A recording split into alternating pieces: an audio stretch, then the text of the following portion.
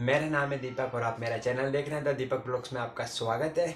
आज की वीडियो में मैं आपको अनगणित ऐसी चीज़ों के बारे में बताऊँगा।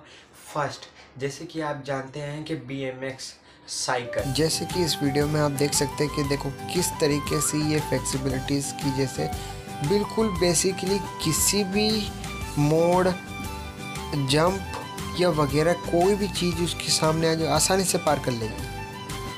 सुनने में ही बहुत बड़ा इंटरेस्टिंग लग रहा होगा और आपको मैं ये बताना चाहूँगा बी साइकिल की बताऊँगा। और कई लोग तो जानते भी होंगे जिनको नहीं पता हमारे चैनल में आए हो तो आपको सब कुछ पता पड़ेगा। नहीं तो हमारा चैनल इस वॉच की तरह फुल स्टॉप लग जाएगा। बंद।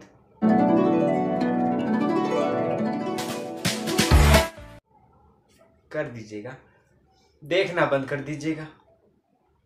पर अच्छी हुई तो प्लीज़ लाइक तो प्लीज़ सब्सक्राइब ज़रूर करें। Subscribe subscribe subscribe like comment और सब्सक्राइब ज़रूर करें ताकि ऐसी हमारी वीडियोस को मोटिवेट मिले और ऐसे ही अनगणित वीडियो आपके सामने प्रस्तुत करते रहे। आज के कंटेंट में मैं आपको बताना चाहूँगा कि साइकिल मास्टर कैसे बने। फ़र्स्ट स्टेप आपको हमेशा ध्यान रखना होगा कि जहाँ पे आप साइकिल की प्रैक्टिस कर रहे हैं जहाँ पे आप साइकिल की प्रैक्टिस कर रहे हैं, वहाँ पे जगह खाली हो। अब आप कहेंगे, भाई जगह का खाली होने से साइकिल स्टैंड मास्टर बनने का क्या लेना देना है? लेना देना है सुरक्षा, सेफ्टी, ये आपको ध्यान रखना होगा। अपने भी वहाँ पे चल रहे हैं लोग, उनका आपका प्लीज़ ध्यान रखें, उनका ध्यान रखें सुरक्षा को ध्यान में रखते हुए साइकिल चलाएँ। तो ऐसी जगह मैं सजेस्ट करूँगा कि आई थिंक आप ऐसे मॉर्निंग में जाओ या शाम, देर रात। पर देर रात अच्छा नहीं होगा तो आप सुबह जल्दी जाइए सड़क पे, जहाँ पे गली मोहल्ले में या ऐसे पार्क में जो मिट्टी भरा हो या घास भरा, जिससे कि आपको चोट कम लगे।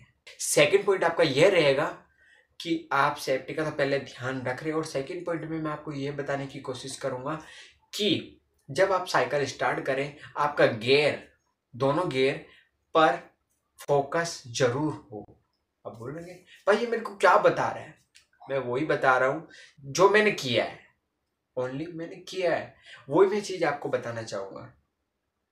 यही बताऊँगा कि जब आप साइकिल चला रहे हो तो आप में से कई लोग जानते होंगे कि घास फूस इलाके में साइकिल का फिसलने का डर होता है।